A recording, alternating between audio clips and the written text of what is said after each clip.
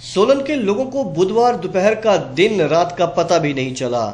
बुधवार दोपहर बाद सोलन शहर में करीब साढ़े तीन बजे के आसपास अचानक आसमान पर काले बादल छाने लगे और ऐसा लगा जैसे मानो रात हो गई हो। आसमान पर काले बादलों के साथ और आसमानी बिजली की कड़कड़ाहट के साथ मेघ भी थोड़ी देर के लिए खूब बरसे, जिसके चलते लोगों को घरों व दुकानों की लाइटें जलानी पड़ी। वहीं वाहन चालकों को भी वाहन चलाने के लिए लाइटों का सहारा लेना पड़ा। साथ ही राहगीरों और स्कूली बच्चों को भी बारिश में भीगते हुए अपने गंतव्य स्थान तक पहुँचना पड़ा। सोलन में बारिश होने से जहाँ गर्मी से राहत मिली है, लेकिन वहीं किसानों की नकदी फ़सलों को भी राहत मिली है, जिससे किसान बेहद खुश हैं।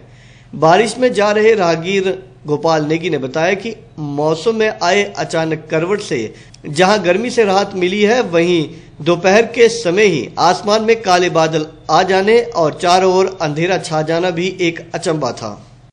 सोलन ज़िले में आज मौसम में करवट बदल रही है। आज सुबह चार बजे हुआ ऐसा प्रतीत होता है, जैसे कि रात्रि सात आठ बजा हो। इस प्रकार से धुंध और भारी बारिश से लोगों का आम जीवन त्रस्त हो गया है। ये बारिश फ़सलों के लिए भी नुकसान साबित हो सकता है। ऐसा आप पहली बार देखने को मिल रहा है। ऐसा प्रकार का मौसम भाजपा के शहर